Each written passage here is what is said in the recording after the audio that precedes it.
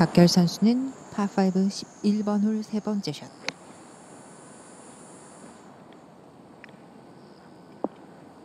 아, 네, 오, 좋습니다. 네. 어, 이번엔 충분히 성공시킬 음. 가능성이 높아요. 박결 선수의 버디 기회. 네. 떨어집니다. 자, 오늘 침착하게 잘 줄이고 있는데요. 세 번째 버디. 선두 그룹과 두 타 차입니다.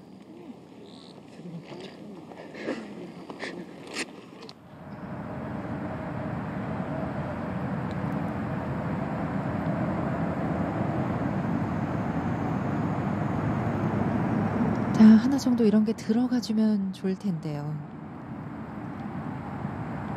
버디 놓치는 박현경 선수.